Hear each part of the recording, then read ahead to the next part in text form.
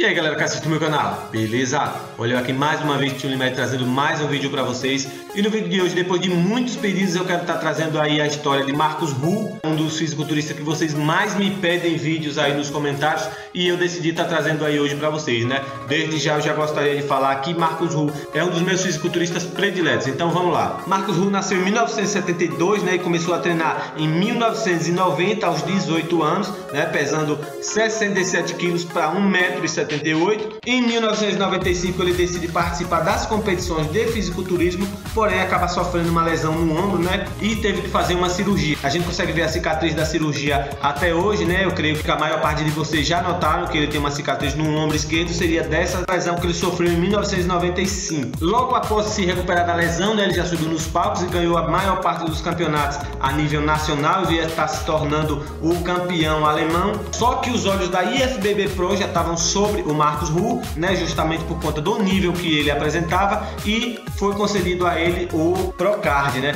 Marcos Hu não participou de competições internacionais como é de costume para receber o Procard, né? A FBB foi lá e doou o Procard para ele, né? Não era muito raro, né? Aconteceu com alguns fisiculturistas, um grande exemplo é o Miguel de Oliveira, né? O brasileiro aí também participou aí dos campeonatos da IFBB Pro. Ele também recebeu o Procard sem participar das competições como o Marcos Hu. Em 1999 ele foi desclassificado do Mr. Olímpico pelo uso de diurético, né? Ele acabou não passando no teste antidoping e foi desclassificado. Em 2001 ele acabou sofrendo uma grave lesão no umbigo, né? Uma lesão interna no umbigo, muito rara, mas isso trouxe graves consequências para o físico do Marcos Hu, né? Ele acabou não se apresentando tão bem assim, né? A cintura dele ficou muito estranha e ele acabou pegando o 14 lugar, o que fez com que ele entrasse numa depressão grave, né? Porém ele resistiu ali, lutou contra essa depressão, voltou aos treinos aí e já em 2002 foi o campeão da Noite dos Campeões. Em toda a sua carreira ele acabou vencendo somente dois Pro Shows, que foi a Noite dos Campeões, né, que hoje é o atual New York Pro,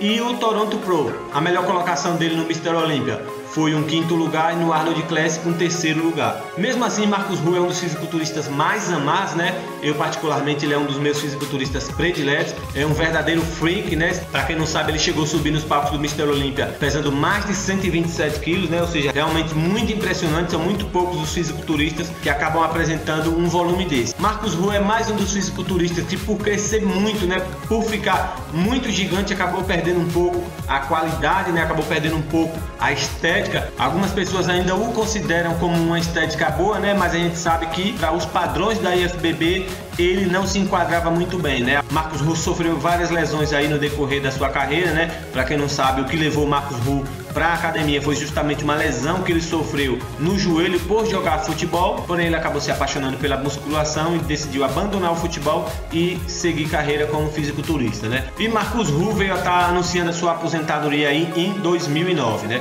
A partir de agora eu vou estar tá falando aí para vocês o que eu acho do físico do Marcos Ru, beleza? Vamos lá. Marcos Ru alcançou níveis musculares incríveis, né? Eu costumava brincar com alguns amigos falando que Marcos Ru não tinha pescoço, né? Que ele tinha a cabeça colocada ali sobre o peitoral e entre os trapézios, né? Mas brincadeiras à parte, Marcos Ru tinha um dos ombros mais impressionantes da IFBB, né? Um dos melhores ombros de todos os tempos, né? Um dos ombros mais largos de todos os tempos, se não o mais largo. O peitoral do Marcos Ru era muito denso, muito cheio, bastante fibrado.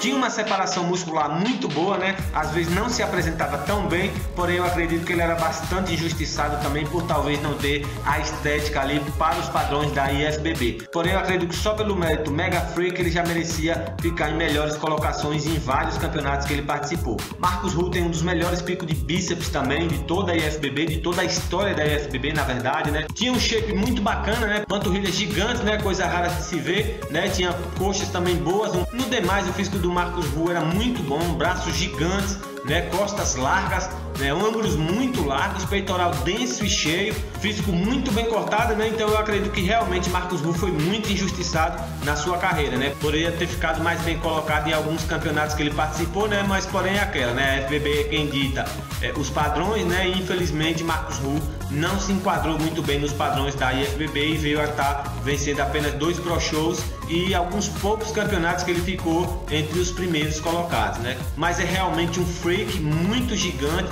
né? Uma separação muscular incrível, cortes muito profundos, né? O famoso corte no centro do peitoral do Marcos Rua era extremamente profundo, né? Tinha uma separação muscular, uma maturidade muscular muito boa. Eu acredito que o único ponto fraco do Marcos Ru é justamente essa questão do pescoço, né? Que não trazia uma estética muito boa para o físico dele e essas lesões que ele sofreu que acabou fazendo com que ele não se apresentasse tão bem, principalmente a lesão no umbigo, né? Que fez com que ele se apresentasse com um aspecto um pouco estranho ali na região abdominal, né? Então é isso aí, galera. O que eu tinha para falar com vocês sobre o Marcos Ru era isso aí. É um fisiculturista que vai ficar para a história aí como um dos maiores freaks aí de todos os tempos. É um dos meus fisiculturistas prediletos, né? Um dos fisiculturistas que quando eu quero um gás a mais ali para treinar, eu assisto alguns DVDs de treinos, alguns vídeos do Marcos Ru, me inspira bastante.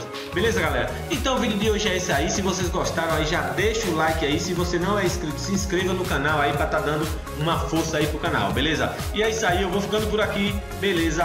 Falou e fui.